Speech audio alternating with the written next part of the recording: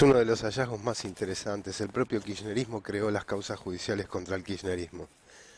No solo por participación en los casos de participación, sino por el, por el caso de, pactos de traición. Es alucinante.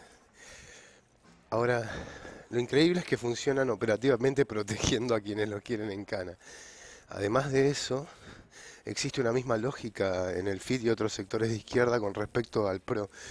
Hay muchos que tienen un pacto con el PRO. Algunos lo manejan de forma tácita, otros de forma cuasi explícita, como cuando hicieron coaliciones, ¿no? O cuando hacen otros coaliciones con gente que hizo coaliciones con funcionarios del PRO y del kirchnerismo y demás, viniendo del ex dualdismo unos, de la UCD otros, y así sucesivamente. Es interesante como momento histórico. Y todavía se siguen confundiendo. Los gatos son ustedes.